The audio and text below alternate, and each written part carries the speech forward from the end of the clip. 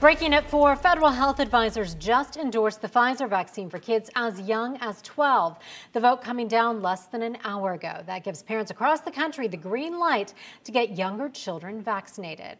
News 6's Lauren Cervantes joins us live now. And Lauren, you spoke to a pediatrician who says parents are already calling about this.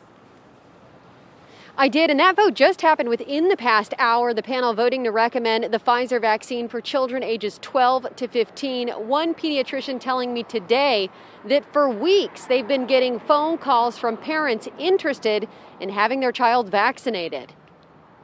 I think our phones were ringing before the announcement. They've definitely been ringing since. Dr. Akinyemi Ajayi with the Children's Lung, Asthma and Sleep Specialists says their partner offices will be getting the Pfizer vaccine, adding that they are ready and equipped. Most pediatricians are looking forward to this happening for their patients. It's going to be so important to help us to get our children back to their normal lives. Dr. Ajayi tells News 6 for the parents looking to have their child get the COVID vaccine, spacing it out from when they get other vaccines may be important depending on the shot. There might be a few kids who are going to be getting the measles, mumps, rubella vaccination, and I would definitely advise that in that case, you probably want to space it out by at least two to four weeks between if you're going to be doing that either before or after with one or the other. He says when it comes to making sure kids have equal access to the COVID vaccine, schools can play a big role in hosting vaccination events.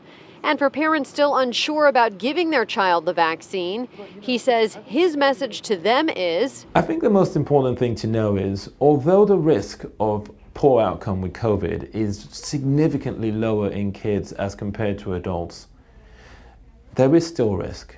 And some kids are still getting severely ill, and some kids are still dying from getting COVID. Now, coming up at 5, we spoke with another pediatrician who says, as a doctor and a mom, she's excited for her patients to have the opportunity to get vaccinated. For now, in Orange County, I'm Lauren Cervantes, getting results, News 6.